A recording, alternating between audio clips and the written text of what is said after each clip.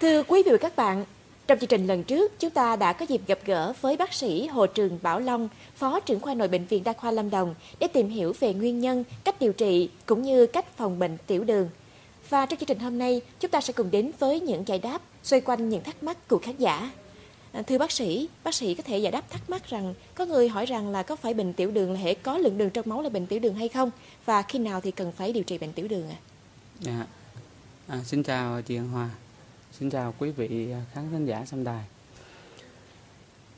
Không phải là trường hợp nào có đường trong nước tiểu thì cũng gọi là tiểu đường. Tại vì bình thường á, cái à, ngưỡng thận đối với đường.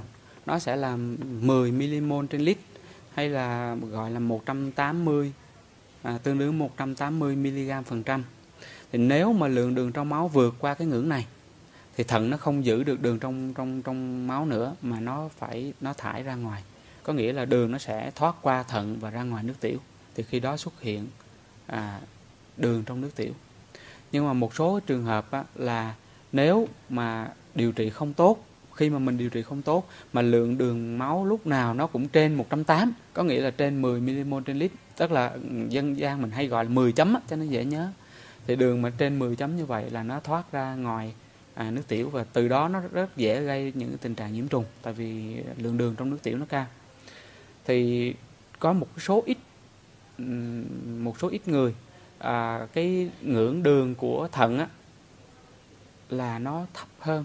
140 thậm chí nó dưới 120 tức là khi mà đường ngang mức trên 120 trở lên là có thể xuất hiện trong nước tiểu được rồi. Nhưng mà trong những trường hợp đó mình không được gọi là bệnh nhân là bệnh nhân đái tháo đường, tại vì không đủ tiêu chuẩn để mà chẩn đoán. Tại vì tổ chức y tế thế giới đã quy định là nó có một cái mức nhất định, đó là đường huyết đói buổi sáng là 126 mg phần trăm nếu trên cái đó thì mới mới được gọi là chẩn đoán là đái tháo đường. Mà dưới 120 thì thì không thể gọi là bệnh nhân đái tháo đường được mặc dù là nước tiểu của họ là có đường. Thì trong thực tế lâm sàng là mình đã từng gặp một ừ, bệnh nhân mà bị viêm cái viêm bàng quang á, nhiễm trùng đường tiểu dai dẳng chữa cả năm trời không hết qua rất là nhiều đợt kháng sinh. À, thì khi mà mình làm xét nghiệm á, mình mới phát hiện được là cái um, đường máu lúc đói ngay cả đường máu lúc no tức là đường máu sau ăn của cô này là lúc nào nó cũng chỉ quanh quẩn là dưới 110 mg phần trăm. Nhưng mà đường trong nước tiểu thì lúc nào cũng có hết. Thì đó là cái nguyên nhân mà nó gây ra cái à, nhiễm trùng đường tiểu da dẳng chữa không chữa không hết. Tại vì bình thường lúc nào nó cũng thường trực có đường trong nước tiểu của cô này hết cả. Mặc dù cổ là không có thể gọi là bệnh nhân đái tháo đường được. Vâng còn khi nào thì cần phải điều trị vậy bác sĩ? Ừ, chương trình trước á, mình cũng đã từng nói đó là tình trạng mà biến chứng của đái tháo đường như vậy là rất là nhiều và nguy hiểm thì như vậy khi mà mình phát hiện được là mình bị đái tháo đường thì cần phải điều trị ngay tại vì chỉ cần một ngày mình chậm trễ điều trị có nghĩa là mình đã làm một ngày là gia tăng cái nguy cơ bị các cái biến chứng cấp tính và mạng tính. Vâng, vậy còn uh, những cái loại thuốc mà để trị bệnh tiểu đường thì có ảnh hưởng gì đến những cơ quan khác trong cơ thể không thưa bác sĩ? À, theo cái nguyên tắc thì bất cứ cái thuốc gì không riêng gì thuốc trong lĩnh vực điều trị đái tháo đường mà các cái thuốc điều trị cho các cái bệnh lý khác à, cũng thế. Không ít thì nhiều à, thì đều có ảnh hưởng một cách à, nhất định đến các cái cơ quan à, hệ thống à, trong cơ thể. À, tuy nhiên người ta sẽ xem xét cái lợi ích và cái cái lợi hại của uh, của thuốc. Ví dụ như lợi thì nhiều mà hại thì rất ít chẳng hạn.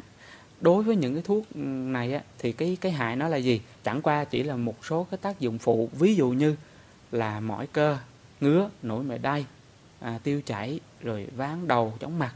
Thì những cái tác dụng phụ này có thể nó sẽ hết đi khi mà ngừng thuốc thì ờ, mình có thể thay đổi thuốc khác chẳng hạn. Nhưng mà trước khi đưa ra thị trường để mà tiêu thụ thì bất cứ một thuốc nào đúng đều đều trải qua những cái quy trình kiểm soát kiểm tra chất lượng à, hết sức nghiêm ngặt và được thử nghiệm nhiều lần trên à, những à, sinh vật hoặc là ngay cả trên người. Rồi mới được ừ, cấp giấy để mà mà à, sản xuất để đưa ra thị trường để đến ta, tay người dùng. Nhưng cái điều quan trọng nhất á, theo tôi thì không phải à, là về mình sợ ảnh hưởng đến cái chỗ cơ quan à, nào của cơ thể mà điều quan trọng nhất đó là chính người bác sĩ là gây ra cho bệnh nhân. Khi mình canh cái liều, mình điều chỉnh liều nó không thích hợp, mà mình trực tiếp mình làm cho bệnh nhân bị hạ đường huyết chẳng hạn, thì khi bệnh nhân bị hôn mê hạ đường huyết, thì mà chưa có cấp cứu kịp thời thì có thể ảnh hưởng tới bệnh nhân. Lúc đó là nguyên một con người bệnh nhân nữa, chứ không còn tính là một cơ quan nào nữa. Bệnh nhân có thể mất mạng luôn, có thể là tử vong. Rất nguy hiểm. Vâng thưa bác sĩ à, tiểu đường tiếp 1 thì khác với tiểu đường tiếp 2 như thế nào và có khi nào mà tiểu đường tiếp 2 lại chuyển sang tiểu đường tiếp 1 và ngược lại hay không? Dạ. À, thưa chị Hoa, uhm, cái à, đái tháo đường thể 1 á, thì nó thường gặp ở bệnh nhân trẻ tuổi. Thường trước đây là người ta nói cái à, cái cái độ tuổi của đái tháo đường thể 1 là dưới 30. Tới bây giờ nó cũng có giá trị như thế. Thì à, thường trẻ dưới 30 tuổi này, triệu chứng thì rầm rộ. Đó và bệnh nhân gầy rút cân rất là mau và trong cái trường hợp mà hôn mê thì bệnh nhân sẽ hôn mê nhiễm toan ceton thì đó là một cái vấn đề ờ, bệnh lý chuyển hóa nó cũng à, phức tạp không có dạ, mình không có tiền để mình à, giải thích sâu. Còn à, đối với những cái à, à, bệnh nhân mà đái tháo đường à, thể 2 á, thì tại vì nó liên quan đến vấn đề đề kháng insulin và thiếu hụt insulin cho nên nó cần phải có một cái quá trình một thời gian dài. Như vậy thì bệnh nhân sẽ là bệnh nhân lớn tuổi này bởi những triệu chứng nó xuất hiện chậm muộn. Và đặc biệt là bệnh nhân có thể kết hợp với tình trạng thừa cân béo phì là chính tình trạng thừa cân béo phì là gia tăng cái sự đề kháng insulin mà. Và à, đối với một số trường hợp bệnh nhân đái tháo đường thể 2 mà phát hiện quá muộn thì các triệu chứng nó vẫn rầm rộ sút cân rất là mau về cái vấn đề mà đái tháo đường thể 1 có chuyển qua đái tháo đường thể 2 không thì do bản chất của hai cái đái tháo đường này là khác nhau. Đái tháo đường thể 2 không thể nào chuyển thành đái tháo đường thể 1 được. Tuy nhiên, ở một số bệnh nhân đái tháo đường thể 1 à, sau một thời gian á, thì tuyến tụy nó có thể bị ờ, có thể được phục hồi và nó sản xuất lại insulin như cũ và bệnh nhân hoàn toàn thoát khỏi bệnh tiểu đường một cách rất là ngoạn mục. À, hiện tại mình cũng có những bệnh nhân như thế và khi đó là bệnh nhân sẽ là hết bệnh và mình không còn gọi là bệnh nhân đái tháo đường nữa. À, thì đối với những bệnh nhân này nếu mà trong cái quá trình sống sinh hoạt nếu ăn uống không đúng cách vẫn dư thừa năng lượng vẫn dùng nhiều đồ ngọt kéo dài dư thừa năng lượng kéo dài à, để làm gia tăng tức là tính chính họ làm gia tăng cái sự đề kháng à, insulin của họ lên thì lâu ngày họ sẽ chuyển thành đái tháo đường thể 2 có nghĩa trong trường hợp này là trước đây họ thể một giờ họ thành thể hai. Nhưng mà đương nhiên đây là chỉ là một số ít rất trường hợp hiếm rất hiếm. Vâng có khi nào mà đái tháo đường thể hai phát triển tại sao nó lại phát triển như vậy cách đây 10 năm thì cái tỷ lệ đái tháo đường của Việt Nam à, đặc biệt ở các cái thành phố lớn đó là Hà Nội, Hải Phòng, Thành phố Hồ Chí Minh, Đà Nẵng thì tỷ lệ nó khoảng xung quanh khoảng chừng 4%, trên 4% một tí. Nhưng mà cho tới thời điểm hiện tại, tức là sau 10 năm thì cái tỷ lệ đó đã là à, trên 7%. Thì Việt Nam mình là nước đang phát triển. Hiện tại các cái nước đang phát triển và các nước đã phát triển thì nó quá sức rồi. Còn đối với những người những ờ, người dân mà ở nước đang phát triển thì thật sự bây giờ cái vấn đề nghèo túng giống như hồi xưa thì hầu như không còn nữa thì bệnh nhân th- thông thường người ta có cái xu hướng là ăn uh, nhiều hơn ăn thừa mứa năng lượng. Tức là khi không cần cũng ăn à, thừa mứa năng lượng kéo dài thì nó sẽ gia tăng cái tình trạng đề kháng insulin và dẫn đến thành đái tháo đường thể 2 à, một số trường hợp thì liên quan đến do cái càng đời sống càng ngày càng nâng cao à, công việc làm thì càng nhiều hơn thì, thì gia tăng stress. Mà cái stress á, thì nó lại sản xuất ra các cái hormone, mà các cái hormone đó là chính là hormone huy động đường vào trong máu. Từ đó làm gia tăng cái cái đường trong máu dữ dội hơn trước nữa. Thì rất là nhiều cái cái cái nguyên nhân như thế. Thêm một cái nguyên nhân nữa, đó là cái ờ, cái xã hội mà càng phát triển thì có vẻ như là cái cái lối sống người ta càng sống thụ động, ít có vận động đó. thì một cái lối sống thụ động ít vận động và thừa cân béo phì như vậy thì lại càng gia tăng cái tình trạng đề kháng insulin và dẫn đến cái tiểu đường thứ hai Vâng thưa bác sĩ, còn đối với phụ nữ thì chu kỳ kinh nguyệt của họ có ảnh hưởng gì đến lượng đường huyết trong máu khi họ bị mắc bệnh tiểu đường hay không? thì đối với phụ nữ mà bị đái tháo đường á, thì rõ ràng rất rõ ràng là à, vấn đề mà chu kỳ kinh nguyệt là sẽ có liên quan đến trực tiếp đến lượng đường trong máu à, ở một số phụ nữ họ khi bị tiểu đường mà đây là nói mình nói là những phụ nữ này là đang trong độ tuổi sinh đẻ có nghĩa là vẫn còn cái chu kỳ kinh nguyệt. Thì rất là nhiều người họ thấy rất là rõ là vài ba ngày trước hoặc là trong quá trình ờ, trong chu kỳ hoặc là vài ba ngày sau chu kỳ. Thì trước trong và sau chu kỳ là họ thấy cái lượng đường trong máu họ có cao hơn là thời gian trước đó. Lý do là vì trong cái thời điểm đó là có cái hormone đó một loại hormone ờ, sinh dục á gọi là hormone estrogen là nó tăng cao. Và hormone estrogen khi nó tăng cao trong cơ thể là nó gây ra cái sự đề kháng insulin từ đó nó làm cho ờ, đường huyết nó tăng hơn bình thường. Và đối còn trong cái trường hợp mà à, tiền chu kỳ, hoặc là cái giai đoạn mà quanh cái thời điểm rụng trứng, thì nó lại gia tăng cái hormone và progesterone. Mục đích là để làm dày cái thành tử cung lên để chuẩn bị đón trứng vào làm tổ sau khi thụ thai. Thì trong cái trường hợp này, thì cái hormone progesterone nó sẽ làm cho ờ, bệnh nhân thấy cảm giác thèm ăn, thèm đồ ngọt, thèm ăn chất béo.